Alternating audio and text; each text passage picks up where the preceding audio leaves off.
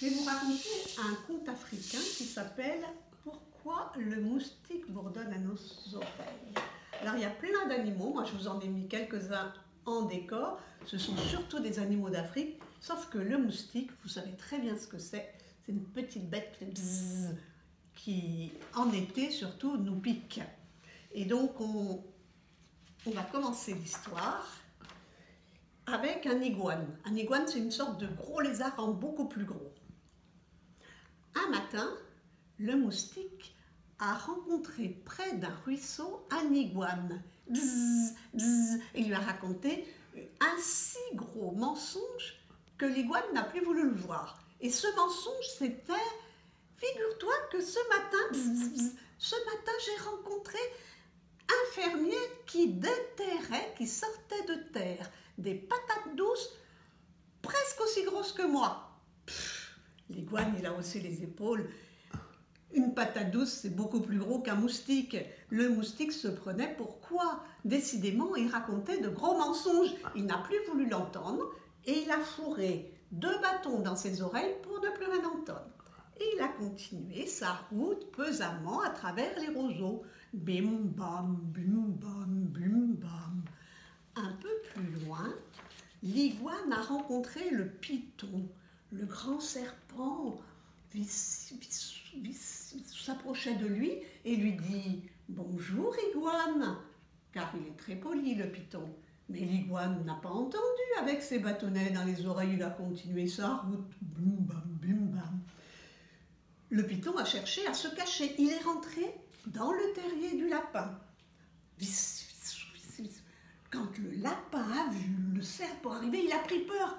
Hop, hop, hop, il est sorti par la sortie de derrière son terrier. Quand le corbeau a vu que le lapin sortait, hop, hop, c'est qu'il devait y avoir un danger. Il a voulu l'aider à donner l'alarme. Tous les animaux de la forêt ont entendu qu'il y avait un danger. Le singe en particulier est parti pour donner l'alarme lui aussi. Il a sauté d'une branche à une autre.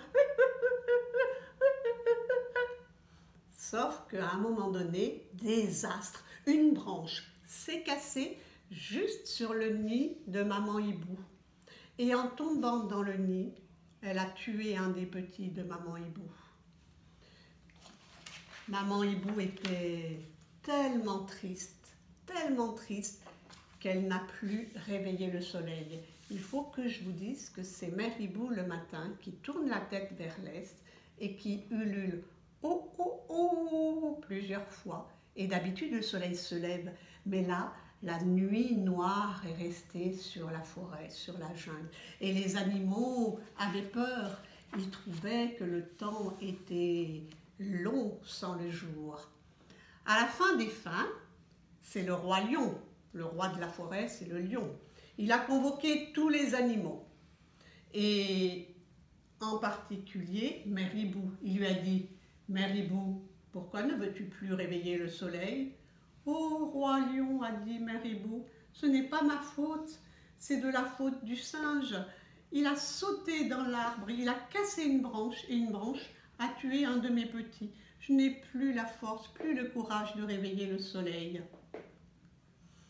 Vous avez entendu, c'est le singe qui a tué le petit hibou, et Mère ne veut plus réveiller le soleil. Alors, le roi lion a appelé le singe. Singe, pourquoi ne veux pourquoi as-tu tué un des petits de Mère Hibou Le singe est là, comme vous l'avez vu. Vous ne le voyez pas? Un petit singe tout, frêle mais espiègle. Donc j'en étais. Au roi loup, ce n'est pas de ma faute, a dit le singe. Une branche s'est cassée, elle est tombée crac plaf sur le nid de Maribou. Donc, a dit le roi, c'est le corbeau. Le singe a bien sûr expliqué que c'était le corbeau qui donnait l'alarme. Donc, c'est le corbeau qui a alarmé le singe, qui a tué le petit hibou. Et Maribou ne veut plus réveiller le soleil. Qu'on m'amène le corbeau alors Le corbeau est arrivé avec ses grandes ailes, ses plumes noires, et il a dit Voyons, ce n'est pas ma faute, c'est la faute du lapin. Je l'ai vu en plein jour sortir de son terrier et courir à toutes jambes, à toutes pattes. Est-ce que ça n'était une bonne raison pour donner l'alarme D'accord, a dit le roi lion. Donc c'est le lapin qui a inquiété le corbeau, qui a alarmé le singe, qui a tué le petit hibou. Et Mère Hibou ne veut plus réveiller le soleil. Qu'on m'apporte le lapin. Le lapin, ce petit animal timide, est arrivé devant le roi lion. Lapin, criait le roi, pourquoi Est-ce que tu t'es mis à courir, courir en plein jour contre toutes les lois de la nature? Ô roi, dit le lapin, ce n'est pas ma faute, c'est la faute du python. J'étais dans ma maison, occupée à mon petit ménage, quand le grand serpent a déboulé sur moi. J'ai eu peur. Le roi donc dit au conseil, donc c'est le python qui a fait peur au lapin, qui a inquiété le corbeau, qui a alarmé le singe, qui a tué le petit de Mère. Et Mère ne veut plus réveiller le soleil. Le python a donc été appelé au conseil. Il est arrivé, mais il s'est expliqué en disant Mais roi, c'est de la faute de l'iguane. Il n'a pas voulu répondre à mon bonjour. J'ai pensé qu'il me voulait du mal. Je me suis vite cachée dans le terrier du lapin. Le roi lion a dit D'accord, d'accord, je comprends. Donc c'est l'iguane qui a effrayé le python, qui a fait peur au lapin, qui a inquiété le corbeau, qui a alarmé le singe, qui a tué le petit de Meribou. Et Meribou ne veut plus réveiller le soleil. L'iguane, lui, avec ses deux bâtonnets dans les oreilles, n'était pas venu au conseil, il n'avait même pas entendu la convocation. Alors on a envoyé la girafe le chercher. Et quand il est arrivé devant le roi bim bam, bim bam, le royaume lui a retiré les bâtonnets, ploc, ploc, et il lui a demandé des explications. Iguane, pourquoi veux-tu faire du mal au python? Je ne veux pas faire de mal au python. Alors pourquoi n'as-tu pas répondu à mon bonjour? Mais je ne t'ai pas entendu parce que je ne t'ai pas vu. D'ailleurs, le moustique ce matin m'a raconté un si gros mensonge que je n'ai plus voulu l'entendre. Et je me suis fourré deux bâtonnets dans les oreilles. Ah ah ah ah ah, dit le roi lion. C'est donc le moustique qui a irrité l'iguane, qui a effrayé le python, qui a fait peur au lapin, qui a inquiété le corbeau, qui a alarmé le singe, qui a tué le petit de Méribou. Et Méribou ne veut plus réveiller le soleil. Et quand Méribou, elle a entendu qu'on avait trouvé un coupable, parce que tous les animaux criaient « Il faut punir le moustique, il faut punir le moustique, il faut punir le moustique !» Alors Mary-Bou, elle a repris confiance, bien sûr. Elle a commencé à tourner la tête vers l'est et elle a ululé « Ouh, ouh, ouh, ouh, ouh, ouh !»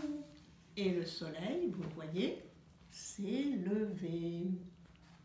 Mais le moustique, lui, il n'était pas venu au conseil, il s'était caché dans une feuille il n'avait pas envie euh, qu'on l'inquiète, mais il avait tout entendu.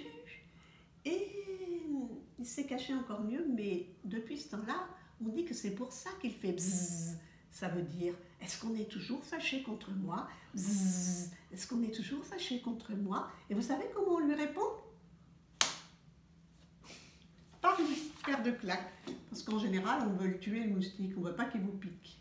Et voilà pourquoi le moustique bourdonne encore à nos oreilles.